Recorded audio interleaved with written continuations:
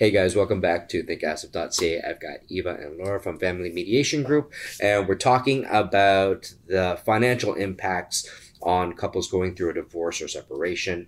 Uh, so let's talk about matrimonial homes. Uh, it's a huge thing because that's often a major sticking point. Yeah. They've got a home. Yeah what happens to it? So Yeah. tell me about it. What, what's a big deal there? Well, if you go to court, it's fairly simple. You know, uh, if two people are fighting, then a judge will just push the house to be for sale Mhm. and you split the proceeds in some proportion, right? Okay. That's really the end of the conversation. In mediation, you can be a lot more creative and we can meet the unique needs of the family, right? So someone can buy out the Mhm. other partner. Mhm. Um, we also have people who remain in the home for a little bit longer Mhm. um, and decide to sell at a different time. Um, we also have parents who maybe one will rent from the other and stay in the home Mhm. because it's beneficial for the children to stay in the same area, go to the same school, so on and so forth. So you really can be rather really, really creative with the matrimonial home. And that's very important because lots of times um, y- you don't have that um, you don't have that ability when you go to court. Mhm. Um, and in here, we see lots of uh, the, the needs are very different. So one parent may indeed need to stay in the house. The other parent may need to may want to buy the other person out, and uh, you know agreeing on that number, uh, it's very hard because no judge has really a jurisdiction to uh, you know order a number, and so that's that's why you end up being you know like the the only order is going to be sell the house, split the proceeds. Uh, but for example, when you agree on a buyout number, right? Right. You can be then you can bring all your sort of um, fairness or ethical, moral sort of elements that have created your relationship, your partnership, your marriage in, in place. So if the house is valued, let's say at you know eight hundred thousand, um, and four hundred is one person, the other one is four hundred, they can agree on a buyout of three hundred or a little less in exchange of you know just just acknowledging that uh, yes, I, I Maybe one I have contributed put- to the property more than the other. Exactly. Okay, I did okay. all the Right, renos and I paid for it during it. So they can have that discussion. And then financially they can it can be reflected financially. Mm-hmm. Do you know what I mean? Mm-hmm. So they can create those numbers. Uh, they have the freedom and they have the Exactly. the means to do it. This way that one partner stays in the house and can afford now to have the house because mm-hmm. he or she bought it at a little bit of a lower price. I'm not saying it has to be lower all the time. It can be higher, to be honest, sometimes Yeah. an acknowledgement kind of it's like okay you need the house so, so mom or dad has uh, been at home um, and needs to stay to remain in the home doesn't really have much other you know means to uh, buy a new house um, or another property. So the other person you know offers a buyout that's a bit higher than Okay. the market value right so that's something that there's no way you can do anywhere else Gotcha. do you Yeah. know what i mean you Yeah. can't so th- Yeah. those how how huge No, is it's that? it's huge for people and especially for parents. Mm-hmm. The reality is your child's life is going to be somewhat connected to their home, Mhm. right? So they have school, they have friends, they have extracurriculars. Mm-hmm. So the topic of the home and where someone is going to live becomes incredibly important Mhm. when we're at the mediation table. And people don't realize that we can get so creative. We can Mhm. be Mhm. Unique to their needs. Um, I think that's the most important is having those conversations, especially because going through divorce is hard enough, Mhm. right? Then to consider some for some people to consider moving Mhm. is already overwhelming in and of itself. Like we Mhm. get a ton of people to the table who say, "I don't want to talk about this. This is too much." Mhm. You know, I can't think about selling my home. And we Mhm. say, no, there are other options. You can stay in it. Mhm. Let's talk to a mortgage broker. Let's talk to a financial advisor. Let's get a team in. And that's when spousal support comes in, for example, as Mhm. well, right? Because Mhm. let's say someone needs to stay in the home or wants to stay in the home. You know, this is, you know, Yeah. um, spousal support now can be that lump sum.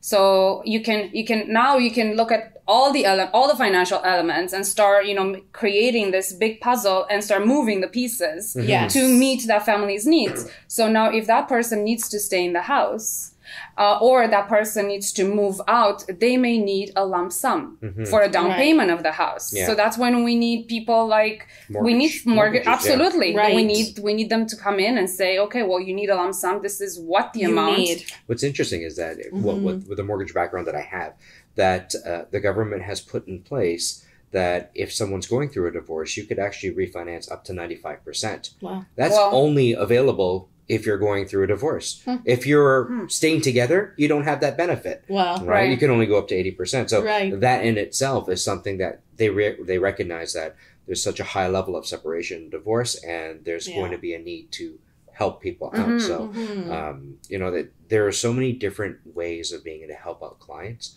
um, going through this and Mhm. it's good to hear that you guys are doing it the humane way and and it's not just like you uh, you had referred to before it's not just a black and white object Right. that we're just dividing down the middle and there's no rhyme or reason right you actually can get creative Mhm. about this stuff which is good Mhm. So, uh, outside of matrimonial home, I'm assuming this you could almost apply similar concepts to your RSPs, your your Absolutely. investments. Absolutely. All Yes. you know, like you could have two spouses, and, and and one of them has a lot of RSPs, and the other one doesn't because of Mhm. whatever their circumstances. Right. You could start getting creative of how to split that sort of stuff up. And that's the Mhm. great thing about mediation. If you go to court, they kind of look at every topic separately, Mm-hmm. right? They'll talk about the home, then they'll talk about pensions, then they'll talk about custody, and it'll be three separate issues, maybe on three separate different months, Mm-hmm. right? Whereas at mediation, we can talk about them all together and use them as puzzle pieces to feed off each other. Mm-hmm. So if someone wants to stay in their own home, but they also don't have any uh, pensions or they need spousal support, we can talk about the conversations Mhm. together Okay. so that we can all kind of bleed together. And that's why having kind of a multidisciplinary approach is the most helpful because then we can bring in other people who specialize, Mhm, right? And can help us with that conversation.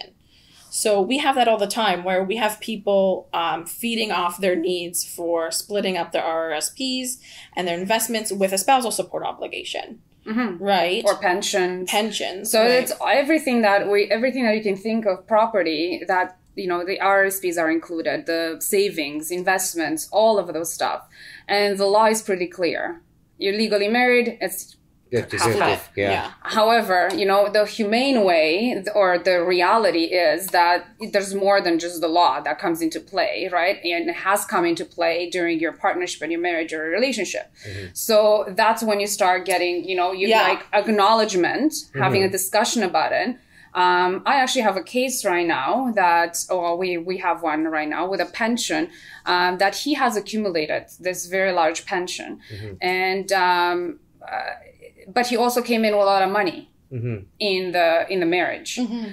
and there is an acknowledgement right now from the wife that okay so i'm not going to touch your pension because you also came in with a lot of money Mhm. for the down payment of whatever Right. home Mm-hmm. so you know even though the loss is half half she's saying keep your pension thank Yeah. you for putting the down payment to the house so Mhm. that again you cannot get that type of In the division law, like with the The the law it doesn't will work say. No. absolute- no no no Okay. no no they won't even No. have those conversations. And I was actually thinking of a similar case mm-hmm. where we have had families say, you know, I'm I'm 54, I'm 55. To split my pension now Mm-hmm. would be it feels detrimental, Mm-hmm. right? Like where am I going to start over? How am I going to get this money back, Mm-hmm. right? And we can that's how we can be creative and say, okay, instead of maybe doing a rollover now or splitting something now and taking on tax consequences that we don't all the need, time yeah we can be a little bit more creative with maybe the proceeds of the home Mm-hmm. right? Yeah. Or a spousal support obligation, setting it off, Okay. okay. right? Because I, you know, I always feel for those people who are close to retirement Mhm. and going through a divorce because it's a lot of times it's not something we've planned for Yeah.